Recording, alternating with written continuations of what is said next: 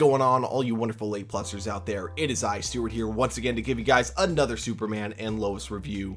Uh, before I start this review off, I do want to make a quick apology. I won't have any images up for this review. Unfortunately, I've uh, I'm in a little bit of a hurry to get this review done uh, because I have like kind of a I have, I have a big work day ahead of me essentially. But I uh, am really excited to talk about this episode. Uh, I just don't have enough time to give it the full edit that I normally do, so I've only been able to watch this episode once. Usually I try to watch these episodes at least two times before I go and do my review.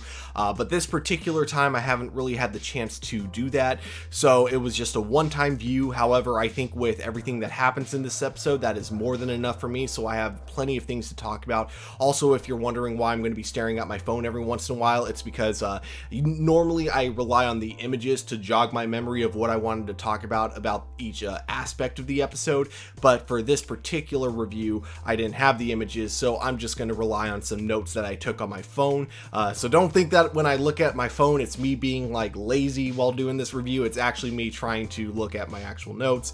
Uh, but that all said, you know, the first thing we got to talk about, guys, Morgan Edge is Superman's brother. Holy crap. Um, you know, my previous review, I mentioned, you know, after he said brother, it could have meant like, you know, he could have meant it in a literal sense, but it also was possible he meant brother as in fellow Kryptonian. But nope, in this episode, it is confirmed that he actually meant brother. Like, he and Superman are actually blood related brothers uh, on their mother's side, not their father's side. Uh, essentially, what happened is Lara, or uh, it was Lara, right? I think that was uh, that that was Superman's Kryptonian uh, Kryptonian mother's name. Uh, but she ended up, uh, you know, falling for Jor-El. You know, the two of them had an actual relationship with each other.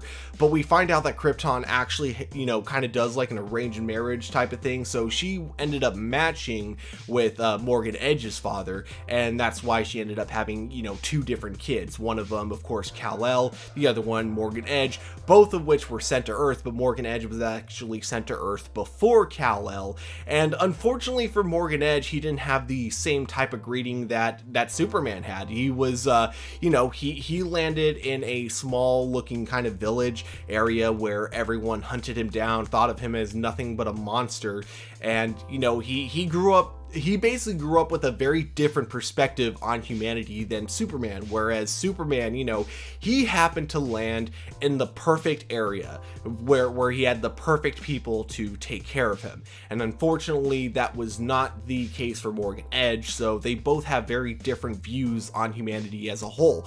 Plus, you look at the fact that Morgan Edge is currently, you know, a billionaire, um, which you know probably happened from using uh, his Kryptonian knowledge and super strength strength in order to, you know, discover uh, specific coal mines that probably, you know, he was able to profit off of and eventually, you know, make it look like he had a legitimate business, you know, and all that kind of stuff behind it. So, because of this, you also got to think about the type of people that Morgan Edge might have worked with. Being a billionaire, usually you end up knowing multiple billionaires. And let me tell you, uh, you know, my personal opinion it's rare that someone has a billion dollars from being morally a good person. Most people who get that you know get there you know to that billion you know point of uh, point of having that much money they don't get there from being nice people. They usually get there from screwing other people over or from being terrible you know people altogether. And those are the type of people that Morgan Edge would have known which also would have just helped him have kind of a more concrete idea that humanity is just terrible. Whereas Clark came from a community where everyone constantly helps each other not because they you know have any obligation to or because they feel like they're going to get rewarded in doing so. People in Smallville tended to uh, help each other because it was the right thing to do, and that was the mentality that Clark Kent ended up growing up with, and that's why he became the great superhero that is Superman. Um, you know, you could look at the other version that we get in uh, John Henry Irons universe, and I think it's kind of safe to say that maybe this version of Superman from uh, Morgan Edge's Earth just didn't grow up with the uh, same uh, the same childhood that Clark Kent did. Like, it's very possible he didn't even land uh, in the Kent farm. He probably landed somewhere uh, completely different and grew up with a very different, uh, uh, like, vision, a vision of uh, humanity. Or it's very possible also that maybe Morgan Edge was the one to discover Superman's pod when he originally landed on Earth, and so he was actually raised by Morgan Edge. why did why that didn't happen on Earth Prime? I'm not sure, but um you know that's probably my my assumption of why superman goes rogue on the other uh, version of earth on john henry irons earth. Uh, but that all said though you know everything else you know regarding this episode was absolutely fantastic. And one thing i absolutely love is how both uh, superman and morgan edge would try to appeal to each other. Uh, you know you you never had a moment where you felt like um, how, how do I put it? It felt like the entire time when uh, both of them were trying to communicate with each other, trying to convince the other person, it felt like violence was like the last thing they wanted to resort to and I absolutely love that about the two of them. You know, when they when you find out you have a long lost brother, you don't immediately want to go, you know, oh, you're evil because you're trying to take over humanity, or you're evil for not standing with your own people. They're they both uh, think that they're in the right, and they both think they can convince the other person. Obviously, in this particular case, Superman is actually in the right, but you know, you could totally see why he believes he can win Morgan Edge over, and unfortunately, it just doesn't work because Morgan Edge has like spent his entire life hating, uh, absolutely hating humanity and thinking so little of them. And uh, because that uh, betraying humanity for Morgan Edge, you know, is just an easy decision. Whereas for Superman, that's something he could never do. Uh, you know, so all those aspects of the episode I thought were absolutely brilliant. Another thing that uh, that happens in this uh, episode is we, of course, Superman needs to find a way to stop Morgan Edge's device from resurrecting more Kryptonians, so he ends up having to turn to his mother, who turns out to be the one to have invented the machine. Now, she invented this device um, for storing Kryptonian consciousness, uh, she invented it originally to be stored into a computer, much like Jor-El. You know, when you have the uh, AI of Jor-El guiding Superman, that's what the other Kryptonians were supposed to do as well. They were supposed to be stored inside a computer and meant to be used only for like kind of knowledge. So it's kind of that saying of no one's ever truly gone as long as you remember them. And what better way to remember someone than to like literally have a digital version of their conscience uploaded onto like a computer or AI of some sort. Now, uh, this this was the intention, but it turns out you know Kryptonian tech works a lot different than human tech. So even though it was meant for computers, it could also be uploaded into other people, and uh, that's what Morgan Edge, of course, is trying to do with the people of Smallville: turn them into evil Kryptonians, or you know, upload the consciousness of Kryptonians into them. Uh, so the only one who knows how to stop this is Superman's mother, Lara, and they uh, are a, they end up having to do the exact thing that Morgan Edge is doing, but they least uh, you know, do it with the in mind with the idea in mind that they're eventually going to stop it. And of course, you have none other than Lana herself uh, volunteering to be the host. Uh, something that Something that both Superman and Lois aren't really happy about, but they totally understand why she wants to do this. Uh, of course, the big worry that they bring up to her attention is the fact that they don't know if this is reversible. They're, you know, talking to Superman's mother in hopes that if it is reversible, only she will be the one who will be able to find out. But Lana, you know, she doesn't care. She feels very responsible for what happened uh, to Smallville with Morgan Edge, especially because, you know, it was her husband, uh, Kyle, that really pushed uh, to have Morgan Edge, uh, you know, and his company work in Smallville. He was the one pushing the citizens to accept this, and she kind of st- uh, stood by and did nothing. And then uh, eventually, when she started working for Morgan Edge, even though she originally did it to get information for Lois Lane, uh, you know, she still had to do her job. So she still had to give him a list of, you know, people that she thought were uh, eligible to be leaders for uh, this program that Morgan Edge was working on, which those people ended up being the human host. So a big part of her feels responsible responsible, and that's why she ends up being the host for uh, for Lara. Now, Lara's interaction when she finally, you know, when we get to see her for the first time in the show, uh, her interaction with Superman, I thought was so well written. Uh, I absolutely loved uh, having the scene where Superman was telling her all about his life on Earth and the fact that he now has uh, kids, so that she's like actually a grandmother. Um, the only complaint I have about this is sadly we never get to see her interact with either Jordan or Jonathan Kent. Uh, instead, it's just kind of the brief interaction with uh, with her and Superman, and then her and Lois Lane.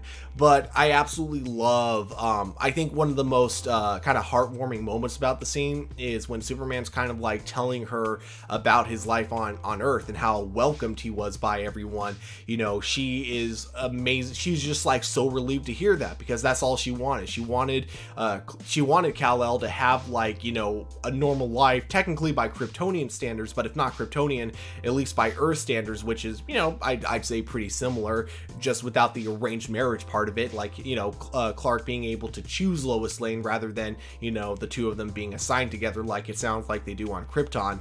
And I think that's uh part that's a big chunk of why uh, she was super happy to see that Clark actually found someone that he loved is because she knows what it's like to just be assigned to someone that you don't necessarily have feelings for.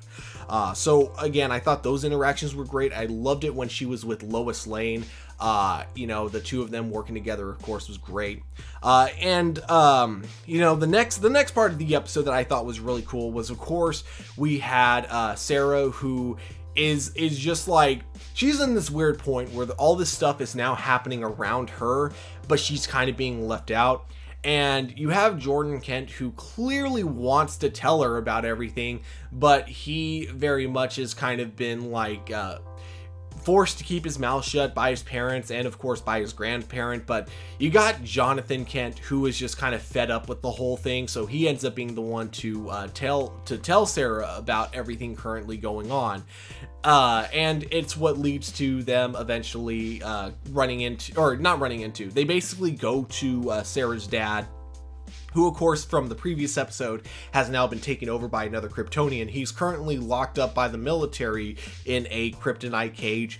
And what I thought we were going to get here, here's what I thought was kind of fascinating because usually these type of scenes you always have like uh, the per the person who's being possessed, uh, they, they're always trying to mimic the person that they're possessing. So when Sarah walked into the tent, I kind of half expected Kyle to be like, Sarah, you gotta get me out of here or something like that. Like he was going to try to trick her. But but they I, I, feel like the writers of the show just knew that that was such an overdone trope that they didn't even really bother trying to do that. So right off the bat the moment she walks in and she's like dad you know you have kyle's body just being like daddy's gone sweetheart and he's never coming back. And so it's like oh okay so they're just gonna skip that whole uh, i'm, I'm really your dad you gotta help me kind of thing. So i, I actually really like that about the episode. I like how it tries a lot of times not to do what you expect because you've seen it so many times and instead takes takes, you know, kind of elements that have been done before, but it tries to take its own unique twist on them. Another thing I absolutely love about this is that, you know, at the very end of the episode, when you have uh, when you have Sarah and Jordan together at a diner, uh, I, I half expected her to be annoyed with Jordan for keeping this all from her, but I love how um she was just kind of like she felt sorry for Jordan for having to keep this a secret. Like she could tell how much it was hurting Jordan Kent to like not be able to talk about this with her as much as he clearly wanted to. And I just thought that was so mature of not just Sarah, but I think it's very mature writing. Uh, and I think it's just funny because I I look at these tropes that are usually done, not just CW tropes. I mean just tropes when it when it comes to television, and I keep expecting Superman and Lois to fall in one of these tropes, and then I'm constantly surprised when it doesn't and it goes uh, into a very different direction. And I think this show does a really good job of that. Like it doesn't try to subvert your expectations for the for the sake of subverting expectations like, you know, Game of Thrones for example. It it really gives you something familiar but doesn't do Actually, you know what? There is there the, the best way I can describe it is that it gives you what you want to see, but not or it gives you what you expect to see, but not the way you expect to see it. I think that would be probably the best way to put it with this. Um, one uh one kind of funny scene I do have to bring up though. I did kind of skip this because uh, I, I went straight to the whole thing where uh, Lana Lang got kind of uh, uh, possessed by uh Lara. Uh, I forgot to mention like Lana like first seeing Superman for the first time in the show and her just being like, "Oh my gosh, it's Superman! I can't believe I'm seeing Superman in real life." I, I, I do have to admit, I, it was so hard for me not to laugh that entire scene, and I know that was kind of the point, but I still look at, at you know, kind of Superman and how his only disguise is glasses, and it's just so funny to me how many people are that close to him, and then they'll see Superman and somehow not be able to notice that they're the same people. Uh, you know, I'm sure there's plenty of, uh, you know, headcanon reasons that people will come up with, like maybe the glasses actually disguise his face, we just don't see it because obviously, you know, you're not going to get two different actors to play Superman, that'd be really lame. Uh, but you know, I, I, I do find it funny a lot of times, it, it, so it was really hard to laugh, or it was really hard not to laugh at that one scene in particular.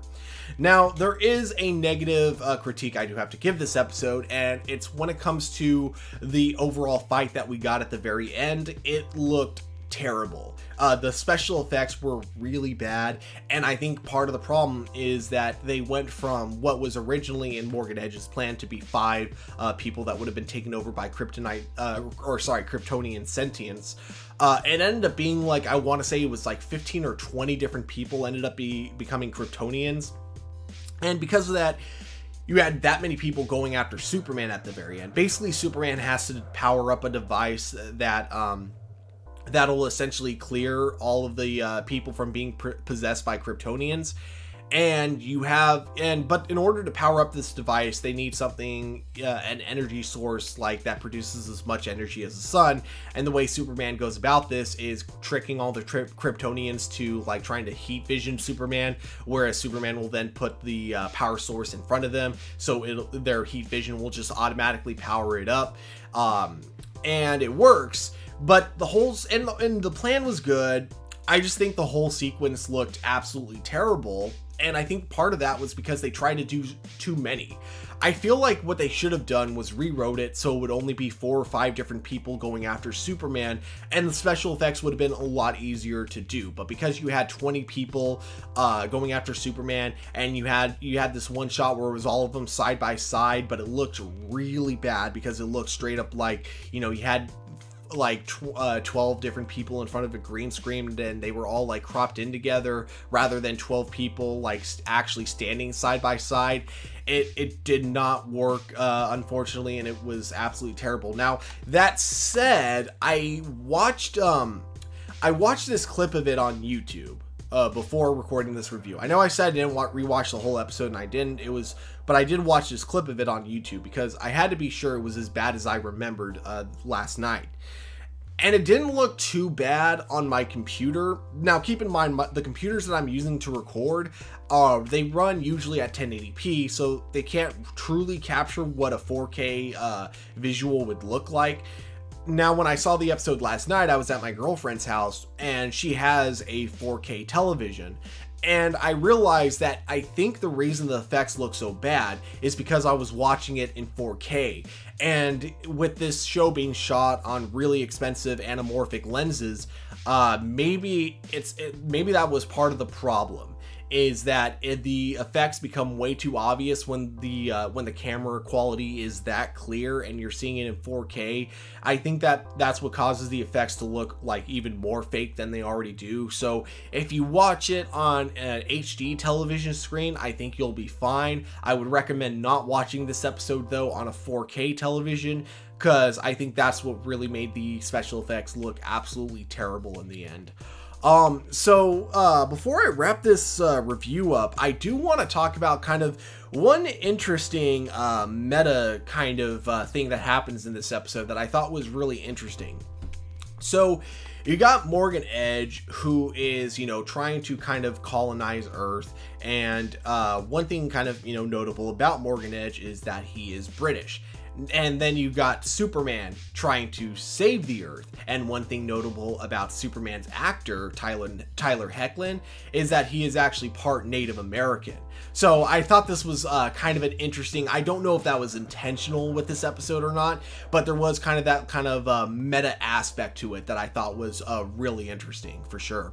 Now, of course, the plan works perfectly. The Kryptonians power up the device, uh, meaning that uh, when it goes off, all of them are suddenly freed. Uh, no one else, no one's being taken over by Kryptonians anymore, except for um, I, I can't. I keep forgetting Morgan Edge's assistants. Uh, oh, I keep forgetting her name.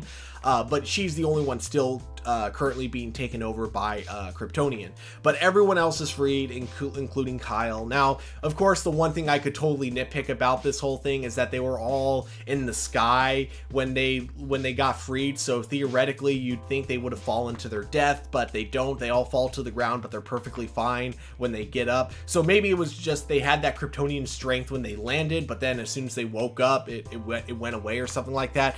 Uh, again, that's just a nitpick though. I'm, I'm sure that's probably the explanation in universe that they'll give. Uh, but you know, it would have been interesting to have like an explanation for how none of them died, or you know, even having a scene where they're all falling, but Superman has to like you know save them each one at a time because obviously even Superman I don't think could find a way to carry 20 people at once unless they did it like kind of how they did it in Iron Man 3 with the airplane after it blew up. That would have been kind of cool, but really hard to film on a television budget. So I can see why they didn't.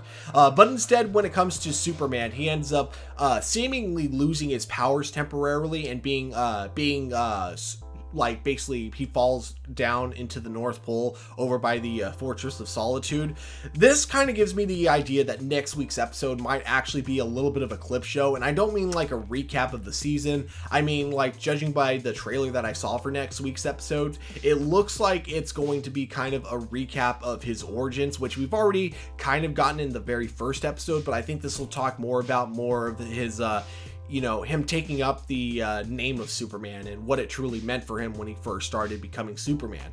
Uh, so, really interested to see how that goes. Uh, and then the episode after that, I believe, is when we finally get Diggle onto the show. So, of course, you know, I love David Ramsey. I love the episode that of Superman and Lois that he directed. He was actually recently in Batwoman 2, and uh, while I haven't gotten to, around to that episode yet, I did watch Indy's review of it, and I am really excited to uh, check it out. I'm currently catching up on Batwoman, so I haven't like fully caught up on it yet, but I'm almost there, and I'm really excited to see how he does on that show. But I imagine like him on Superman and Lois, it's probably going to be very similar to how they do it on Batwoman, because from what I understand it's very downplayed compared to the rest of the episode. He's really just there for a few scenes, and which makes sense because he doesn't really know anyone on that show. And I imagine it being kind of similar with Superman and Lois. Like he does know Superman, but uh, at the same time, he was never close with Superman. So I don't see him being like really on the sh- the uh, episode for that long so i'm really curious to see how long he ends up lasting but uh overall guys um this was a really awesome episode. Again i don't think uh I don't think there's been a single time, with the exception of episode three, that I haven't said that this is an awesome episode, but it's another win.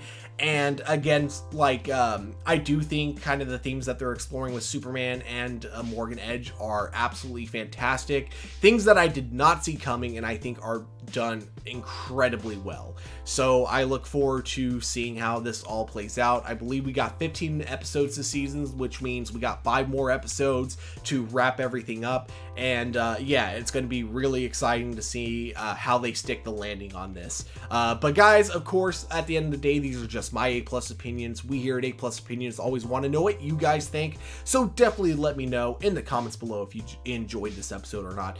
Definitely hit that like button, subscribe to our channel. But of course, guys, above all, just remember to keep it A plus.